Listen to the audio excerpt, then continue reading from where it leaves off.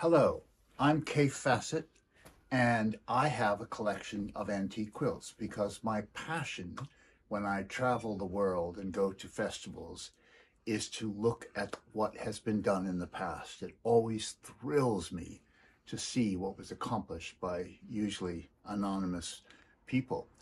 Um, and one of the things I'm looking for is a wonderful story, a nice structure to the whole quilt, but also I love things that are pieced obsessively together. Something that I would never do, would never have the patience to sit down and sew one little hexagon to another or one little square to another.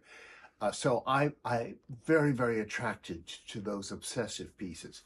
And this one is no uh, shrinking violet in that collection. This is a beautiful quilt, I feel, which is made with so-called the wrong materials. It's made with satins and silks and different kinds of uh, materials like that. But I love the fact that somebody dug out all of these different colors and different little patterns and put them together and made this incredible um, big structure with these points on the sides. I mean, probably this was laying on a bed this way with this coming down at the end of the bed, or maybe that was around a bolster at the end. But it is just, I think, um, a wonderful example of a scrappy quilt, which I love, but that has a beautiful aesthetic and, and a really, really lovely high pastels among a lot of more neutral kind of um, stories. Where was it bought? And I bought it in Houston. I don't really know much about any of the quilts I have. I just get them because they look fabulous.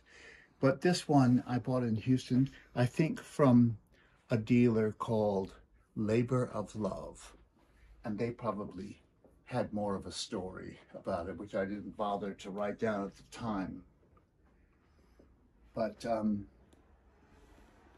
I love all of my antiques and mostly just because they're so full of personality and somebody's wonderful taste. I mean, the fact that these very subtle little flowers disappear into the background, I find intriguing. And then other ones are, are a little more definite.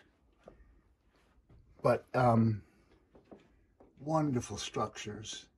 And I'm just, I don't know, it's just a, a magical trip for me. All of these wonderful colors and patterns and how they add up to this beautiful structure.